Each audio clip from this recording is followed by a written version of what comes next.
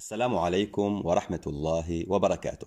في هذا المقطع سنراجع بشكل سريع درس التقديم والتأخير في البلاغة. نبدأ مع السؤال الأول. ضع إشارة صح أمام العبارة الصحيحة وإشارة خطأ أمام العبارة الخاطئة فيما يأتي. واحد يأتي المسند إليه ثم المسند في الترتيب الأصلي للجملة الإسمية. نأتي بهذه الجملة العلم نور أسندنا النور هو مسند للعلم هو مسند إليه. من الذي تقدم؟ تقدم المسند إليه ثم المسند في الجملة الاسمية. إذا هذه العبارة صحيحة. يتقدم المسند إليه المبتدأ على المسند الذي هو الخبر في الترتيب الأصلي للجملة الاسمية. اثنان يمكن أن يتغير الترتيب الأصلي للجملة من أجل غرض بلاغي. نعم يمكن ذلك. يمكن أن يتغير هذا الترتيب لأجل غرض بلاغي. ثلاثة التقديم والتأخير لا يمكن أن يطال المتعلقات كالمفعول به هذا خطأ. كثيرا ما يطال المتعلقات كالمفعول به كثيرا ما يتقدم المفعول به على الفعل والفاعل لغرض بلاغي. أربعة التعجب والتعظيم من الأغراض البلاغية للتقديم والتأخير. صحيح هذا الكلام صحيح. التعجب والتعظيم من الأغراض البلاغية. خمسة أغراض التخصيص والتشويق للمتأخر. قليلا ما ترد في كلام العرب هذا خطأ. كثيرا جدا ما ترد هذه الأغراض التخصيص والتشويق للمتأخر في كلام العرب كثيرا ما ترد. السؤال الثاني. اختر الإجابة الصحيحة من بين البدائل المعطى.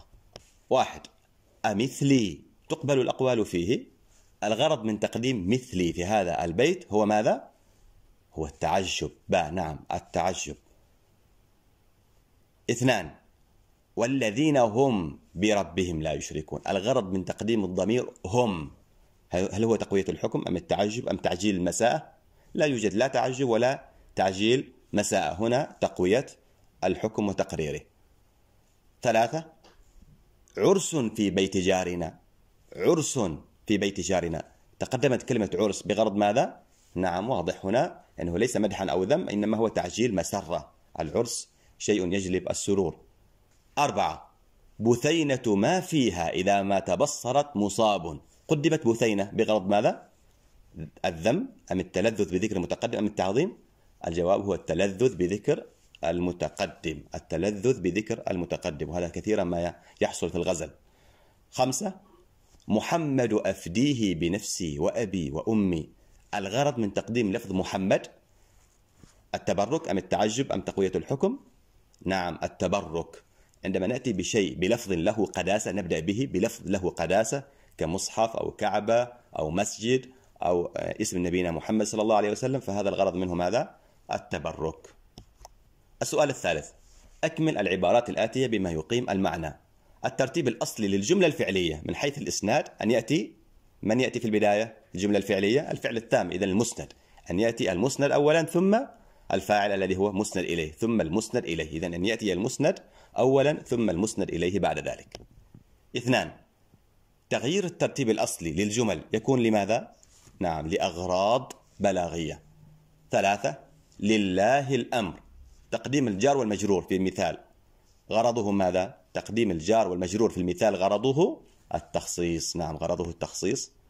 أربعة رفيع قدرك. رفيع قدرك. الغرض من تقديم من التقديم في هذا المثال. رفيع. ما الغرض منه؟ المدح أو التعظيم. كلاهما صحيح. خمسة الذي زارنا. في بيتنا البارحة بعد انصرافك وزير الدولة. الغرض من تأخير الفاعل في هذه الجملة أو في هذه العبارة هو ماذا؟ التشويق للمتأخر. أراد أن يشوقه لمعرفة من الذي زارهم بعد انصرافه. إذا التشويق للمتأخر. السؤال الرابع.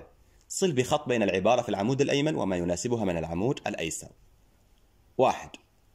والذي حارت البرية فيه حيوان مستحدث من جمادي والذي حارت هذا مبتدأ. أين خبره؟ والذي حارت البرية فيه حيوان. نعم حيوان مستحدث من جمال تأخرت هذه كلمة حيوان لماذا؟ للتشويق للمتأخر. التشويق للمتأخر. اثنان الإفراج عن صديقنا صباح الغد.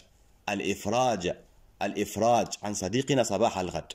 لماذا جاء بكلمة الإفراج في البداية؟ نعم غرضه تعجيل المسرة. ثلاثة نيران بنادقنا. انهمرت على العدو. ما الغرض من تقديم نيران بنادقنا؟ نعم تعجيل المساء جيم. تعجيل المساء. أربعة هو يعطي الجزيل. لماذا تقدم الضمير هنا؟ باء تقوية الحكم وتقريره.